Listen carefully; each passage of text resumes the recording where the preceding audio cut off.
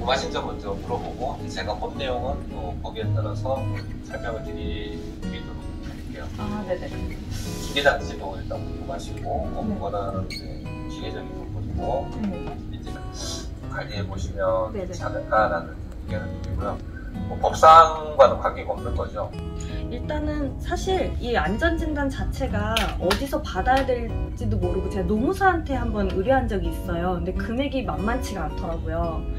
그래서 이제 할까 말까 고민을 하던 차에 이제 이런 사업이 있다는 거를 안내를 받고 그것도 사실 고민을 했어요.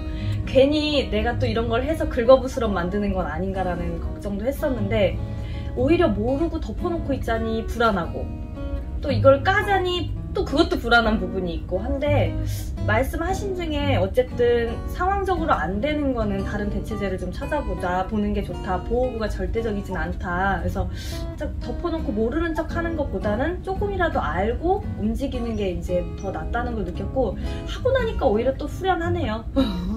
좀 더 또 보여드리고 싶은 부분이 있었는데 좀 좀 더 보완돼서 이렇게 좀 제안을 받으면 좋을 것 같아요 평가 보고서를 이제 저희들이 이제 개발한 기준대로 보내드리는데요. 대부분의 업체가 와 우리가 이렇게 평가가 평가가 중요한 건 아닙니다. 근데 각 항목별로 어떤 부분들을 개선해야 될지가 중요한데 그 부분에서는 오해하실 필요는 없을 것 같더라고요. 그래서 그 부분에 있어서 몇 가지 사항들은 어, 도움이 되지 않을까라는 생각이 듭니다.